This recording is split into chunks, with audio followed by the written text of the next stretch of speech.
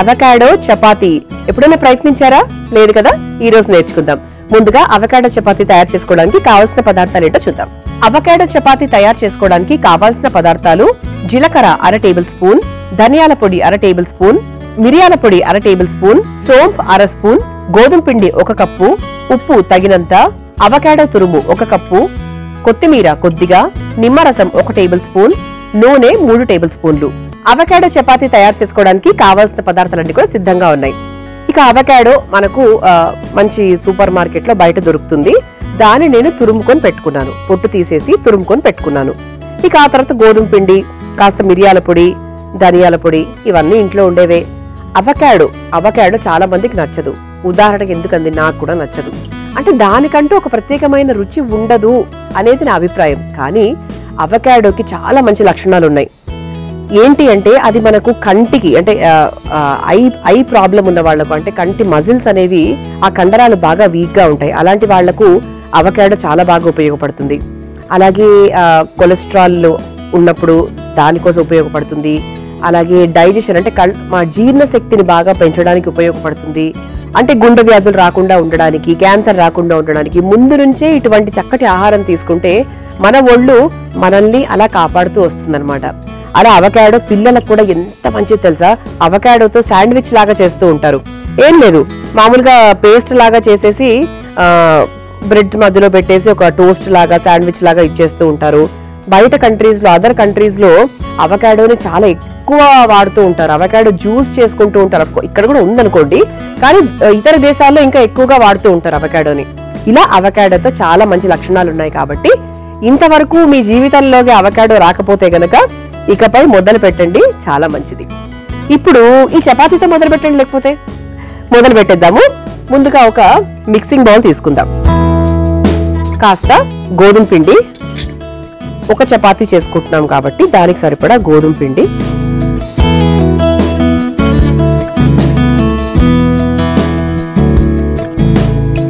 కాస్త సోంపు. సోంపు ఎందుకు అంటే కాస్త కొంచెం డిఫరెంట్గా రుచిగా ఉంటుంది. ఒకవేళ సోంపు రుచి నచ్చని వాళ్ళు పక్కన పెట్టేయచ్చు. జీలకర్ర. జీలకర్ర ఎంత ఎక్కువగా వేసుకుంటే అంత బాగుంటుంది. నాకు ఇష్టం కాబట్టి ఎక్కువ వేసుకున్నాను. కాస్త ధనియాల పొడి. కొంచెం మిరియాల పొడి.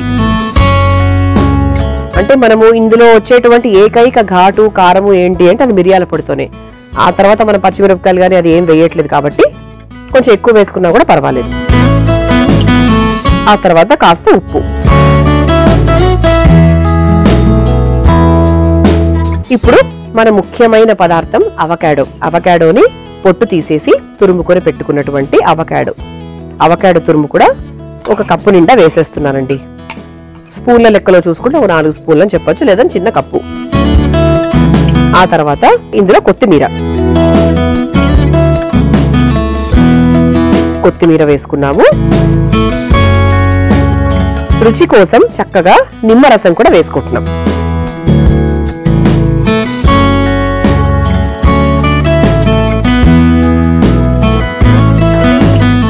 నిమ్మరసం వేసుకుంటే కొంచెం అలా పుల్ల పుల్లగా బాగుంటుంది కదా.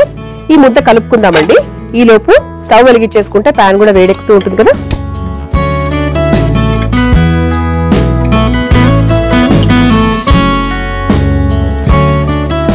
బాగా కలిపేసుకుందాం.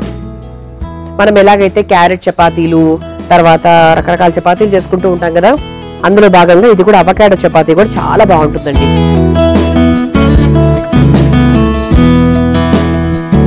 చక్కగా నీళ్ళు పోసుకొని చపాతీ ముద్దలాగా కలుపుకోవాలి. ఇందులో కాస్త పసుపు కొంచెం మీకు రంగు రావాలి అనుకుంటే కాస్త పసుపు కూడా మీరు యాడ్ చేసుకోవచ్చు.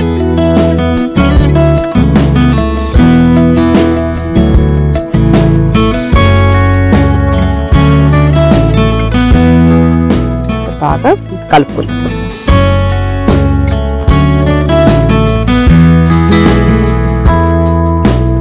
ఇందులో మీకు ఏమైనా కొంచెం మసాలా టేస్ట్ అలా రావాలి అనుకుంటే కాస్త మసాలా పొడి వేసుకోవచ్చు.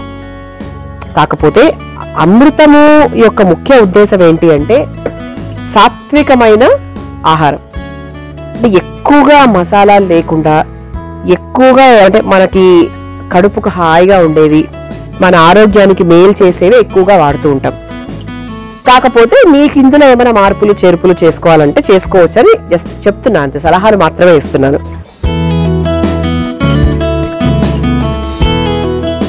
అంటే కొంతమందికి చప్పగా అనిపించవచ్చు అలా అన్నమాట. కానీ అనుకుంటాం కదండి ఇలాంటి ఆహారాలే చాలా మంచిది. ఇందులో కాస్త ఒక చుక్క నూనె వేసుకొని ఒకసారి ఇలా అనుకుంటే మనకు అప్పుడిప్పుడిగా పిండి పిండిగా ఉంటే కూడా సెట్ అయిపోతుంది.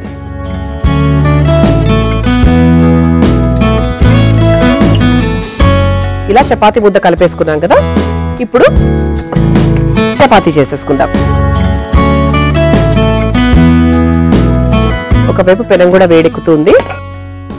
ఇంకోవైపు మా చపాతీ కూడా రెడీ అయిపోవడానికి సిద్ధంగా ఉంది. కాస్త నూనె వేసుకుందాం. అంటుకోకుండా.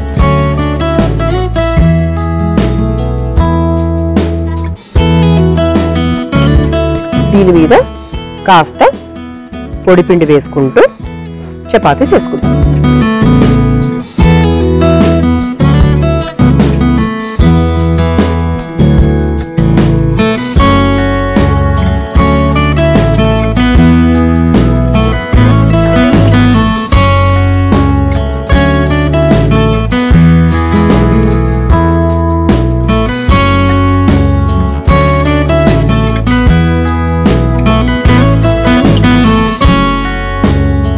సాధ్యమైనంత వరకు ఇది పలచగా వస్తుందండి. ఎందుకంటే ఇందులో మనకి స్టఫింగ్ లాంటిది ఏం లేదు కాబట్టి చక్కగా లావుగా ఏం రాదు పలచగానే వస్తుంది.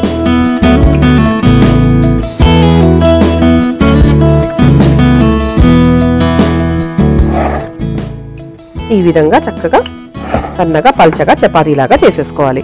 ఇది మీ పిల్లలకి బాక్స్లో పెట్టించినా కూడా చాలా బాగుంటుంది. చపాతీలాగానే పెద్ద రుచిగా అంటే రుచిలో మనకి తేడా ఏమీ ఉండదు. అందుకు వాళ్ళు కూడా ఏమి వద్దు అలాంటివి ఏమి అనరు. సో ఇలా తయారైన చపాతీ నేను ప్యాన్లో వేసేస్తున్నాను. నూనె వేస్తూ రెండు వైపులా నేను కాల్చుకుంటూ ఉంటాను. మనం తయారు చేసుకుంటున్నాము అవకాడో చపాతీ. ఇదిగోండి అవకాడో తురుము వేసుకున్నాము గోధుమ పిండి అందులో కాస్త మిరియాల పొడి కొంచెం ధనియాల పొడి కొంచెం నిమ్మరసము అంతే. చక్కగా ఉప్పు వేసుకొని చపాతీలాగా ఒత్తుకొని వేసేసుకున్నాం. ఇది నెయ్యితో కానీ నూనెతో కానీ మీరు కాల్చుకోవచ్చు. నేను నూనె వేశాను. అయిపోయిందండి. ఇక స్టవ్ ఆఫ్ చేసేసుకొని ఒక ప్లేట్లోకి తీసుకుందాం. దీన్ని ఏదైనా పెరుగు చట్నీతో కానీ టొమాటో చట్నీ ఏదైనా కూడా బాగుంటుంది దీనికి నార్మల్. అంటే దీంట్లో నిమ్మరసం వేసాం కాబట్టి కొంచెం అది కొంచెం పుల్ల పుల్లగా అలా ఉంటుంది కానీ మామూలుగా అయితే ఇందులో పెద్ద అవకాడో వల్ల వచ్చే రుచి మార్పులు అయితే ఏమీ ఉండవు.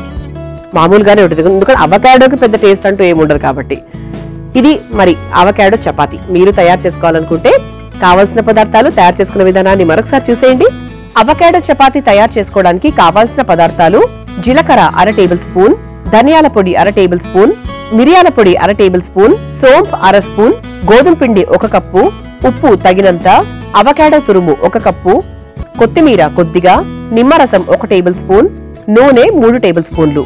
అవకాడో చపాతి తయారు చేసుకునే విధానం.